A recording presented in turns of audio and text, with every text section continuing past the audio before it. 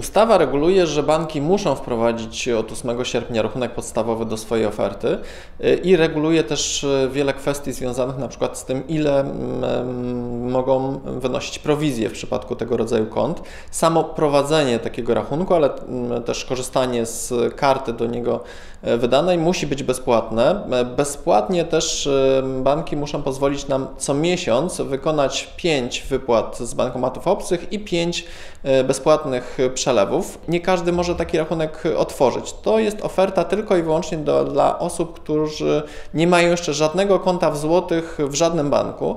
Banki no, musiały wprowadzić tego rodzaju rachunki, rzeczywiście zastosowały się do tego, wprowadziły konta, ale no, raczej nie są z tego powodu jakoś bardzo zadowolone, dlatego że e, nie tylko nie mogą naliczać tych podstawowych opłat, ale też takim rachunkiem podstawowym nie może być powiązany żaden produkt kredytowy. W Polsce mamy dwie duże grupy, które dość e, powiedzmy rzadko korzystają z rachunków bankowych, czyli osoby młode i osoby starsze. No i chodziło o to, żeby nie było tej bariery w postaci dodatkowych kosztów, żeby te osoby, które tych kont nie mają, żeby się na to zdecydowały, żeby nie były wykluczone na przykład z możliwości korzystania z jakichś e, produktów e, czy też usług elektronicznych. No i teraz będą mogły z tego korzystać i nie będą z tego tytułu musiały ponosić jakichś dodatkowych opłat.